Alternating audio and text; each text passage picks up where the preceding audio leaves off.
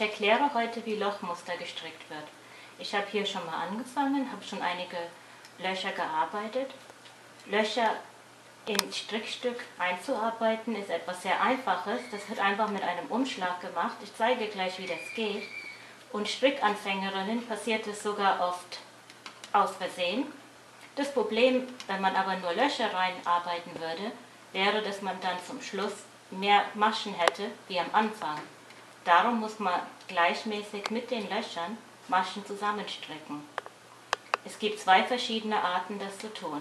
Wenn ich möchte, dass die Linie bei den Löchern so aussieht, dann stricke ich zwei Maschen zusammen. Das heißt, ich würde so normalerweise stricken, aber stattdessen stricke ich gleichzeitig zwei Maschen ab. Jetzt habe ich eine Masche weniger auf der Reihe und jetzt kann ich ein Loch machen. Da tue ich einfach nur den Faden auf der Nadel und das ist alles. Und dann strecke ich weiter.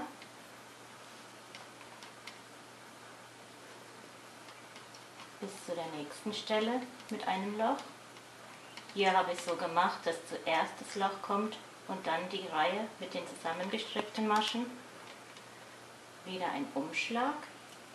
Dann hebe ich eine Masche ab, wie wenn ich sie stricken würde, aber ich hebe sie nur ab, stricke die nächste Masche und hebe dann diese Masche über die gestreckte. So habe ich wieder aus zwei Maschen eine gemacht und habe dann genau die gleiche Maschenzahl wie am Anfang. In der Rückreihe stricke ich einfach jede Masche ab und stricke auch, das ist der erste Umschlag, stricke auch diesen Umschlag so ab, wie wenn es eine Masche wäre.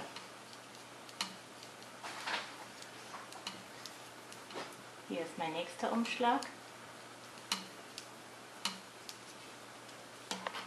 Und so sehen jetzt meine neuen Löcher aus.